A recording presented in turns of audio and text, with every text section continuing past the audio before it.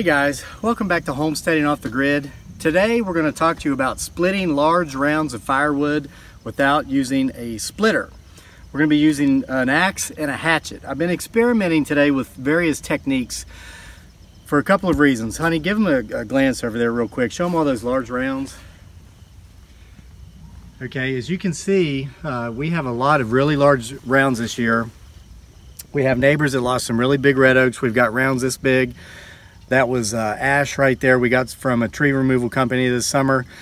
This stuff has not had as much time to dry out as we would like would have liked for it to have had because this has been the rainiest year on record in recorded history since the settlement of Jamestown, at least according to me.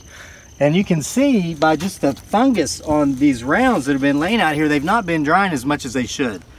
And another thing, I'm a year older than I was last year. So I can split with an axe, but the time is coming where I can't rely solely on superhuman Superman strength. So um, come a little closer, honey. Let's show them what I have going on here. Here's a technique I've found that I'm going to use. Basically, I'm going to go with the grain of the large round with my axe, and whereas last year and in years past, I would just be out here just slamming away with my axe, you know, busting this thing up and not even caring, just feeling all big and strong over it. Um, I'm not going to do that this year as much. So what I'm going to do is without using much uh, strength, effort, and force at all is I'm going to make sure to, to get my axe blade in here closer to the edge, very close to the edge. I don't want to be up here in the center, in the heart of the, the log because that's where it's strongest. But out here, going with the grain, I'm not going to be using much energy at all. Now, I'm going to wear my, my glasses because we always got to remember safety first get this out of the way. I'd hate to hit that and have it fly back and hit me. That's it. You saw that took no energy. Okay, now, be doing a lot of banging, a lot of hammering. It's gonna look like I'm using a lot of energy, maybe more than if I were Superman in this thing away with the axe, but it's not. I've been out here trying it and uh, I'm just gonna tap this through.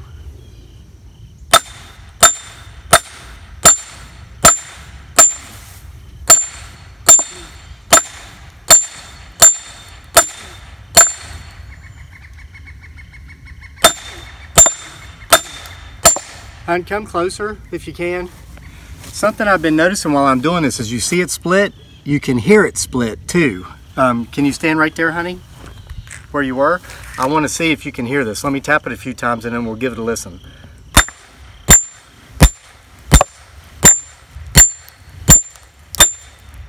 Can you hear that?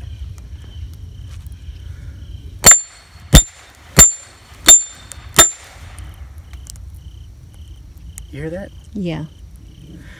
Um, I don't know if the if the microphone on the camera is picking that up or not, guys, but that's motivating. I know this log is splitting because I can hear it being ripped apart, and this isn't hard. I mean, it's loud because it's steel on steel.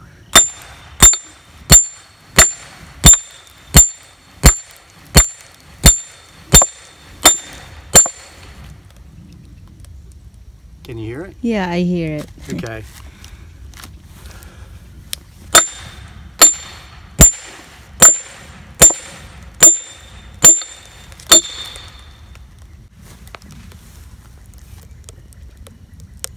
Hear it? Mm-hmm.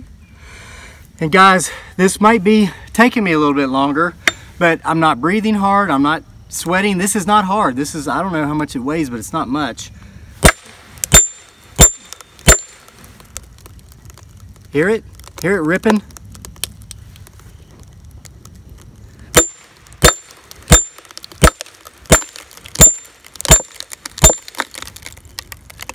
Once you get this thing down in there, it just starts tearing itself apart.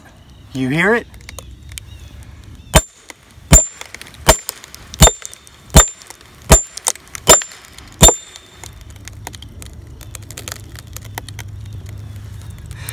And I'm holding down here the end of the axe. I can feel the vibrations from the, raw, from the log being ripped apart.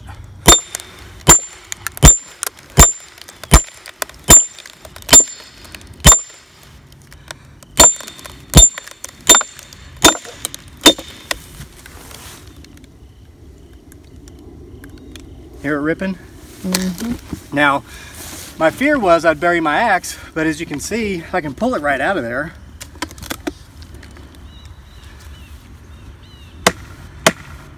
give it a few love taps. And then, guys, it's kind of like working a puzzle, like taking a, instead of putting a puzzle together piece by piece, I'm taking one apart piece by piece. I want to show them the grain again. Okay, so I've got this thing ripped all the way down the side here. Now, what I want to do is ordinarily I'd just go to the other side of the log, but I'm going to twist it so my lovely assistant camera woman here doesn't have to change her angle. But you see how the grain is coming apart quite easily right here. I'm going to go with this one and probably what's going to happen is this piece will come out. So same thing. I'm not using a big heavy Superman swing. I'm just being meticulous.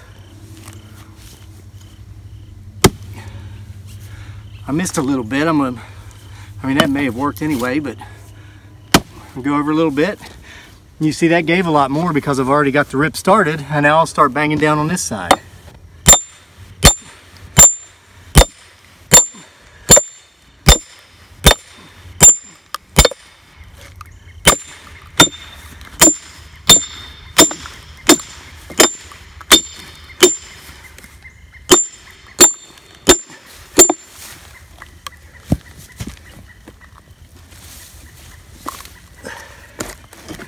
And now that's so loose, I've got to rip down both sides of the grain that from here,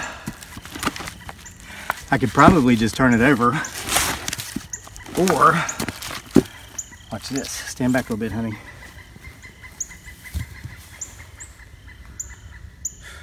You know what? I haven't used any Superman strength yet, and I'm not going to start now. I wanted to take the easy way out.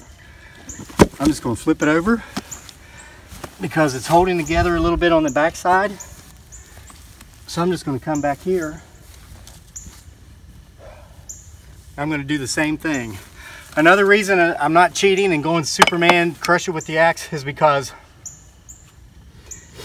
uh, no offense, but you might be a 60 year old woman that weighs 115 pounds watching this video and you want to know how you can split these large rounds.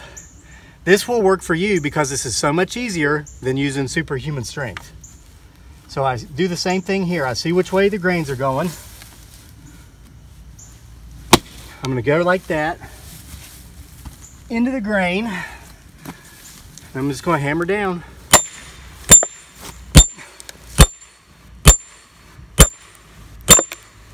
Hear it ripping.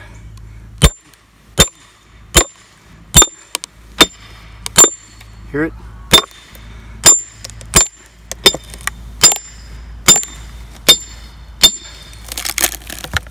And then that just comes right out. So guys, like I said, and now I'll have to go around and do this. And now this piece, this is manageable. Okay guys, so I split a couple, I split this off a few more times um, down to what I would call manageable size pieces.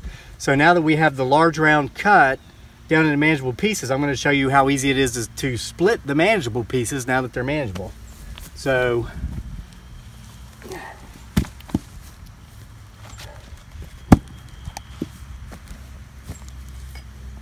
set it here, and again, you know, when you're chopping wood, you always want to go with the grain.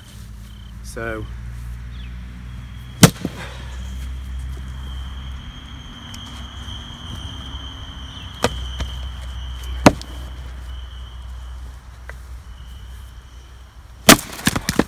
nothing to it. Let me show you with the other one. Again, when this was all one piece, there's no way uh, I could have split that. This is some big wood. It's very big wood. And it's not as dry as I like it to be when I usually split. I'll go with the grain. And it, it just splits right apart. Okay guys, so basically what I just showed you, you can use in combination. If I wanted to split all of these large rounds with the, you know, insert uh, axe and tap with the hatchet method, I could, and I might. There might be days where I do that. Um, other days, once I get the large pieces separated enough to where they're manageable pieces, I might go over and I might just chop with the axe. Here's what we're learning about all of this homesteading stuff, whether it's cutting firewood, growing vegetables, raising chickens, trying to build pens for animals, there's more than one way to do any of these chores. Everybody has the perfect way to do this, the perfect way to do that. What we found works for us is a combination of many ways.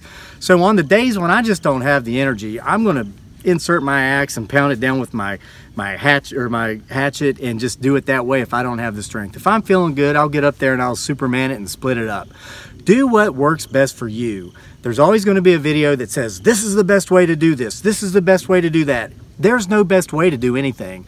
I hope this helped you learn a new way of maybe doing something some of the time and at, bat, at best, that's the best we can all hope for, really. So find what works for you. For me, it's a combination, and a lot of it depends on my mood. So I hope you enjoyed this video. If so, please check back with us for more later here at Homesteading Off the Grid.